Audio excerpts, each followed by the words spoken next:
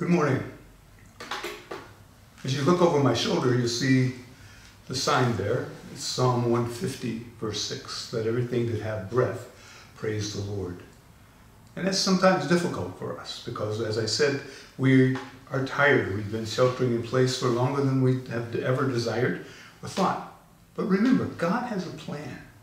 And his plan is that we are a part of his plan to know him and to make him known. So again, allow the Father to do his perfect work in you. Today we're looking at 2 Corinthians chapter 4, verses 1 through 5. Let me read them to you because they will encourage us, because this is Paul, again, who's trying to encourage the Corinthians, who's talking about parts of his own life. And so it is for us as well that he speaks into us. He says, Therefore, since we have this ministry, as we have received mercy, don't lose heart. We have received mercy. Don't lose heart. But we have renounced the things hidden because of shame, not walking in craftiness or adulterating the word of God, but by manifesting the truth, by commending ourselves to every man's conscience in the sight of God. In other words, we're trying to live godly lives in front of everyone. Why? Because we want everything about us, our breath, our lives, to glorify the Lord. Then he goes on. And even if our gospel is veiled, it is veiled to those who are perishing, in whose case the God of this world, that is Satan, has blinded their minds so that unbelieving they might not see the light of the gospel of Christ Jesus, who is indeed the image of God. Therefore, we don't preach ourselves, we don't live for ourselves. No, indeed, we preach Christ Jesus as we ourselves are bondservants for his sake. For it is God who said, Let light shine out of darkness, is the one who shined into our hearts and given us the light of the knowledge of the glory of God face to face. That's who we are. We're Christ's bondservants. We have the light of Christ in us. And yes, the world around us, and there's many ways to shape this, don't know the Father. And they're worried, they're afraid, they're scared. So what do we do? We get to speak Christ into them by helping them to understand. Paul says, since we have received mercy, don't lose heart. I know sometimes you feel like your life is, oh my gosh, what's going on here? Yet the Father says, no, I have a plan. Let me take these things in your life and turn them to good. Because remember, Romans 8, 28, God has a plan. For all things work together for good for those who love God and are called according to his purpose. That's us. So where are we encouraged here? Well, often in our lives, we feel like we've failed. We feel like, well, we can't do things. I don't know what to do. The Father says, no, I am with you. Sometimes we feel inadequate. The Father says, no, I am with you. Here's two stories that will hopefully encourage your hearts. The story is told in Faith Today several years ago about Wynton Marsalis. If you haven't heard Wynton Marsalis play his trumpet, you have missed out. My suspicions are that Gabriel waits in heaven saying, uh, okay, Father, when's Wynton going to come and blow a trumpet with me? Because he's good. Because he is, he really is. But the story goes this way. That he's at some small club in New York. And he's playing an old song. And the old song is an old blues ballad called I Can't Stand a Ghost of a Chance Without You. It's one of those haunting songs where you just listen to it and you get caught into it because it's a song of despair. Sometimes you're gasping in pain at, the music. That's our lives sometimes. We feel that way. I'm gasping because of the pain here. And so as Marsalis plays and gets to the final phrase, he's playing each note slower and slower as to emphasize them because he's trying to get the folks' attention. And so he, he, he plays that and the last phrase goes this way I don't stand a ghost of a chance. And then the spell is broken by someone's cell phone going off. I tell people when I do funerals, I, eh, the first thing I do is I say, friends, I ask you to turn off your cell phone, your Blackberry, whatever it is you are you are using, because I guarantee you two things. One, it will ring. And two, if God's going to call you, he's not going to use your cell phone. Well, the song, it goes off with some little beep, and of course, you know, you're always embarrassed. You can't find it fast enough. You can't turn it off. So this gentleman finds it and runs out the hall. The stub is broken. But what does Wynton do? He plays that cell phone beat note by note on his trumpet. And then he began to play it again in different tones, in different keys, changing the arrangement several times. And the audience began to settle down.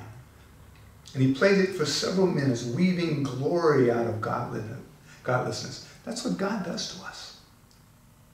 He takes the little bit we have, our mistakes, he takes the things where we're tired, and then weaves them all back together. Here's the end of that story. Finally, he wound it down seamlessly to the last two notes of his previous song. Remember what it was? He was slowing out. I don't stand a chance without you. And he brought it all back together so that we could see and know the mastery of God. And that's the mastery of God in our lives. He's saying God adapts things to us. He adapts. Why? Because we're his children. And he loves us. And yes, Paul reminds us again, don't lose heart. Because even in the feeling that you're losing heart, the Father says, no, I've got this. I have a plan here. Why? Because we as Christians have renounced the things hidden because of shame. We don't participate in them. We don't walk in craftiness. We walk in truth. We don't walk in deceitfulness or adulterating the truth of God. No, right? Because we have the truth of Christ living in us. The Father speaks there into our hearts. He helps us. And then here's another quick story for us. This is an urban legend, but it works for us. And it's about Poland's famous concert pianist and prime minister, Ignaz Paderewski. And the story goes like this. A mom brings her child that she's trying to encourage in his piano to see the master at work. And so you get there and your mom starts talking to her friends, and what does an eight-year-old boy do? He begins to wander out because he is bored. And so what does he see? He sees up on the grand stage this wonderful piano. So he goes up, and just as the bell, the chimes go off, mom's looking for him, she can't find him. And then suddenly the people are in awe. They're gasping. There's a little kid up on the stage playing Twinkle, Twinkle, Little Star. And so mom is going to rush up and grab her kid off the stage. And usher stops her because out walks Paderewski. And he sits next to the kid and begins to play the bass. And then he takes his other hand and begins to play the upper range. And together they play Twinkle, Twinkle, Little Star. And the little boy now is embarrassed. And he wants to stop. The maestro reaches over to him and says, Don't stop playing. Keep playing. And so the two of them kept playing. Twinkle, twinkle, little star. How I wonder what you are. Now you say, what's that got to do with my spiritual life? Everything. Because we often feel inadequate. I want to give up. I'm tired. I'm worn out. I'm weary. I'm losing heart. And the Father sits down with us, his arms around us, and keeps playing and says, Don't give up. Keep playing. Keep praying. Keep being the person that I am making you. Let my light shine through you. Don't give up because I am for you and with you. Don't give up because I'm sitting right here next to you. I am the God who speaks life into you. Why? Because I have shined my light into your presence, into your heart, that you know and walk with me. So my friends today, remember, everywhere we go, we shine light in the darkness. We can't give up. My last one is this one. Years ago, my wife had to sing up at Mount Davidson. It's a trek to get up there. So we were walking up the up the driveway to get up to the top to the cross because she's supposed to sing. It's early Easter Sunday morning. You know, we're out of bed way earlier than we normally are, but you know, we got to go serve because that's what we do. And we're walking with another friend of mine. He's got a little limp. And so we're walking. She looks at him. She looks up at the cross, still a distance away. And then this thought comes to her mind.